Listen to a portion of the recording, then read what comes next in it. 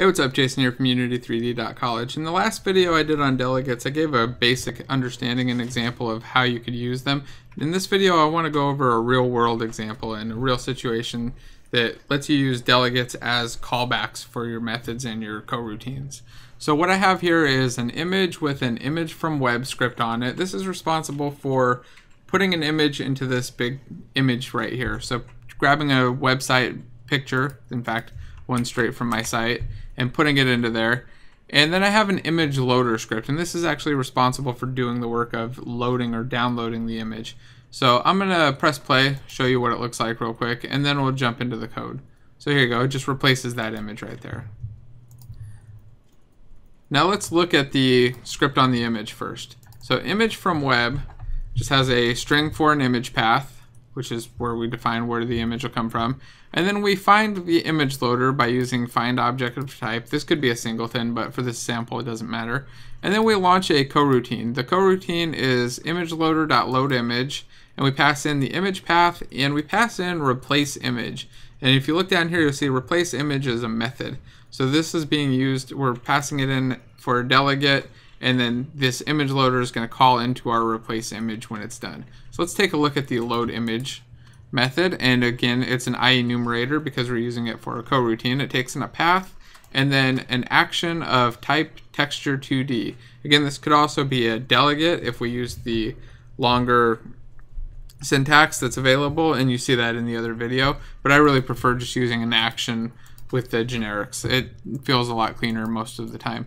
And we call this on complete because we're going to call this when the load image is complete. So since load image is kind of asynchronous using a coroutine and we yield return on our www request, we want to wait until it's done before we actually call the code to update the texture.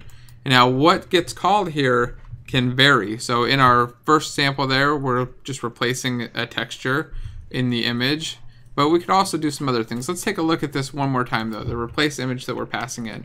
Here we just get a rectangle for the, um, the texture width and height, and then we create a sprite for that. So that's what's updating there. But you may have noticed if we go back to the scene, we also have a local image saver, and this is doing something a little bit different. It's reusing the loader.load image functionality. So again, we just cache a reference to the loader here or we grab one, and then we call start coroutine on load image and pass in the path.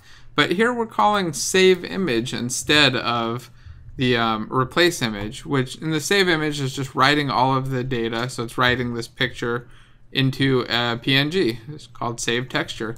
In fact, it'll go right into this folder.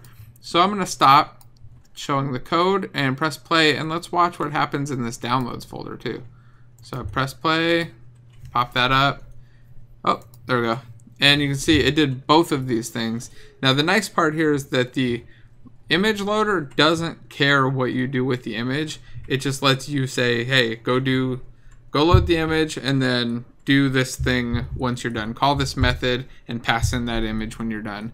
The image loader can stay relatively generic. We could also swap it out. We could have different types of image loaders and using this same functionality, we could pass in these same delegates as long as the uh, the method structure is the same. We could pass in the same delegates and then load them a completely different way and have the code all be the same with the results.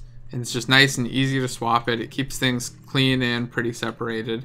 And it's a really powerful system once you get used to using it. So if you have a situation where you're running some code and you want to wait until something's done and then do something else, think about it for a moment before you build the whole system up and consider using delegates as callbacks in there and see if it's maybe a cleaner, easier solution. It won't always be, but sometimes it is. So it's worth knowing about and it's worth trying out. Um, if you like this video, don't forget to like and hit subscribe. If you have any questions, feel free to drop them down in the comments. And thanks for watching.